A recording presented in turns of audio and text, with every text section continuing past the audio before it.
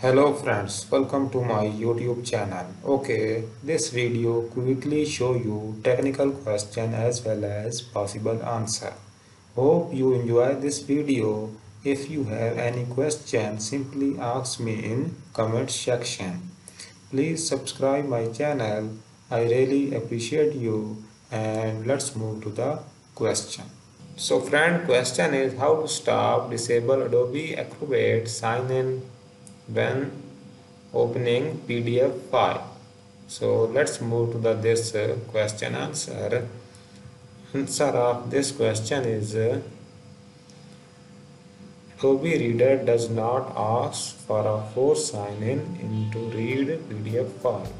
However, we recently sign out user with unverified Adobe ID.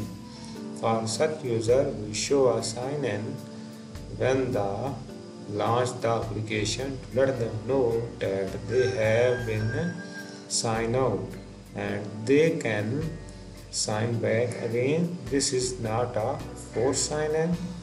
The red cross button on the top left should make the sign in dialog go away. Ask the user to download the latest version of adobe reader from help and then check updates. Report the machine after updates and let know how it goes and share your observation. So friend in this way you stop sign in for. I hope this video is helpful for you. Please like this video and don't forget to subscribe my youtube channel. Thank you very much. See you soon in the next video